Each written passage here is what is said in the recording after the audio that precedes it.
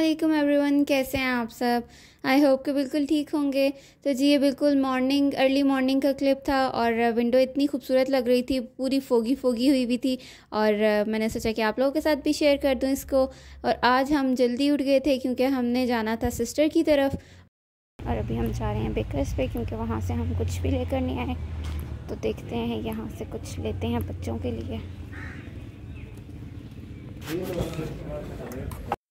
और यहाँ पर थे तो बेकर्स में बड़े सारे ऑप्शंस लेकिन हमारे बच्चे तो खाने के मामले में इतने चूज़ी हैं, हमने उनको देखना होता है कि बच्चे क्या खा रहे हैं, कि नहीं खा रहे वैसे हमारे के आजकल के तो हर एक के बच्चे ऐसे ही होते हैं कि हमने ये नहीं खाना, हमने वो नहीं खाना।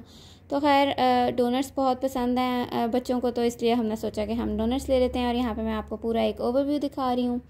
बस फिर उसके बाद वहाँ पे इतना कोई ख़ास मैं कैप्चर कर नहीं सकी थी और फिर हम घर आ गए थे और ये जो है वो नेक्स्ट डे का क्लिप था और यहाँ पे मैं बना रही थी जेली और ये जो है वो हम सी एस टी से लाए थे। जेली का पैकेट बड़ा वाला लार्ज साइज़ लेकर आए थे क्योंकि हम लोग लबे शीरी वगैरह बनाते हैं।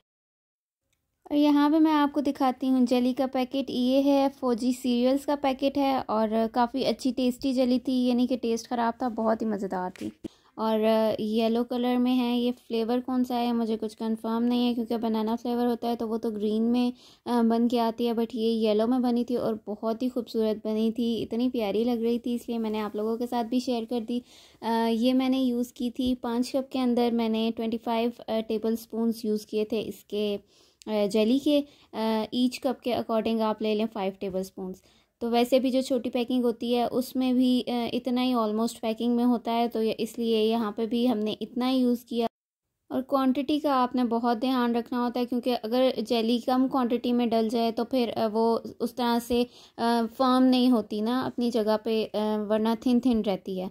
तो इसलिए अब हम इसको अच्छे से करेंगे मेल्ट और यहाँ पे मैंने लाइट ऑन की थी तो येलो कलर बड़ा ही कोई खूबसूरत सा लग रहा है, प्यारा सा। अभी आपको जिस टाइम पे मैं मोल्ड में निकाल के दिखाऊँगी ना, फिर आपने देखना है कि कितना खूबसूरत येलो कलर है। और बस यहाँ पे अच्छे से मैं इसको मिक्स कर रही हूँ और बॉयल आएगा और फिर उसके बाद हम इसको पोर कर लेंगे अपने मोल्ड में।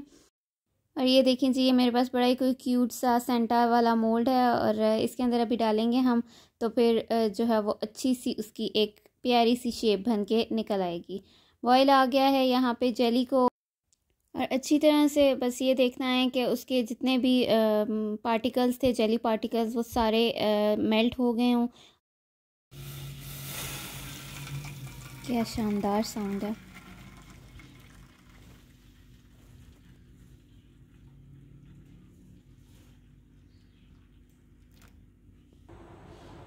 तो ये लें जी, यहाँ पे हमने इसको डिश आउट कर दिया है। आई होप कि ये अच्छे से अपनी जगह पे आ जाए और ये प्यारी सी जो इसकी सेंटा की शेप है, ये भी हमें नज़र आए।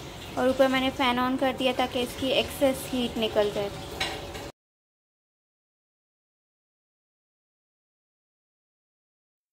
तो ये देखें जी, यहाँ पे हमारी जेली हो गई है रेडी और इसको अच्छे से साइड से हमने कट कर लेना है ताकि वो उसके अंदर लगी ना रहे और मोल्ड से अलग हो जाए ना एक बार तो बस फिर आराम से वो निकल आएगी। फिर उसके बाद मैंने उसके ऊपर प्लेट रखा था और, प्लेट रखा था, नहीं रखी थी और फिर उसके बाद उसको फ्लिप कर दिया था। और यहाँ पे फ्लिप करने के लिए ना आपके पास प्लेट बड़ी होनी चाहिए वरना क्योंकि मोल्ड के अकॉर्डिंग ही होना वरना वो उससे बाहर निकल जाएगा क्योंकि मेरे पास मुझे समझ में नहीं आया मेरी प्लेट छोटी थी इसलिए वो मोल्ड से थोड़ा सा बाहर निकल गया था। इट्स जस्ट अमेजिंग ये माशाल्लाह से परफेक्ट बन गई है और ये हमारे Santa uncle look so cute